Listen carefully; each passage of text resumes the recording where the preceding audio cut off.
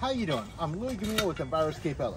We're here at the Manhattan Beach Botanical Garden, and as you can see, we have a slope here to my right.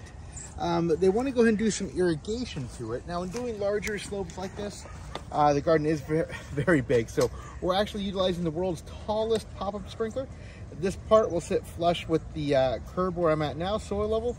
Then it pops up. It's going to go ahead and irrigate, and then we'll then retract back down so you don't see that and it won't get kicked around or broken, damaged, vandalized.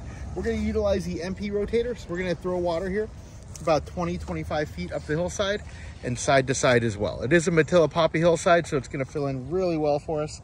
Um, it's just really dry here over the summer. So we're getting this installed before we have a wet winter.